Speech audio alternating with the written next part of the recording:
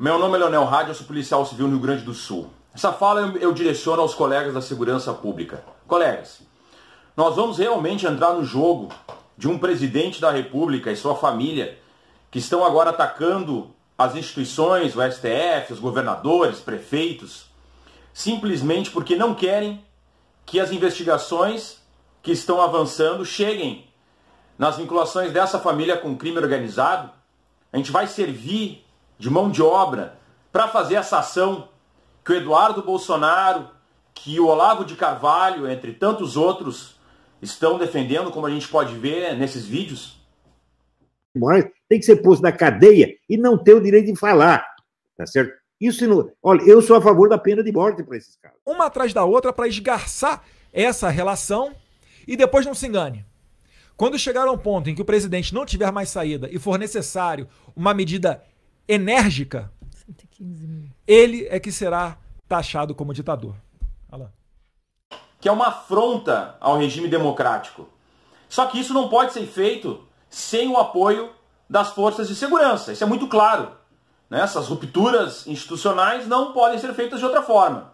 A pergunta é: vamos servir de mão de obra para um governo que pensa isso que eu vou mostrar agora sobre os servidores públicos? Todo mundo está achando que estão distraídos, abraçaram a gente, enrolaram com a gente, nós já botamos a granada no bolso do inimigo. Dois anos sem aumento de salário. Se um outro presidente de outra ideologia, de outro partido político, dissesse que tem que armar o seu grupo, formar sua milícia para atacar governadores e prefeitos, o que você pensaria a respeito? Facílimo. Um bosta de um prefeito faz um bosta no decreto, algema e deixa todo mundo dentro de casa. Se tivesse armado, ia para a rua.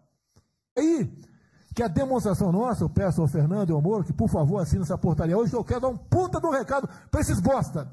Por que, que eu estou armando o povo? Porque eu não quero uma ditadura. Então fica claro que o objetivo do Bolsonaro é criar esse tensionamento, atacar as instituições, para que ele e sua família não sejam investigados, para que não se descubra a realidade dos fatos, que é a vinculação deles com uma organização criminosa que não fica restrita só às fake news. A gente já sabe o que acontece no Rio de Janeiro, a gente já sabe o que foi feito agora em relação à Polícia Federal, as mudanças de cargos para tentar atrapalhar as investigações, como já foi bem demonstrado e falado por diversos especialistas. Então espero que a gente tenha um pouco de consciência e defenda a democracia, independente da nossa ideologia.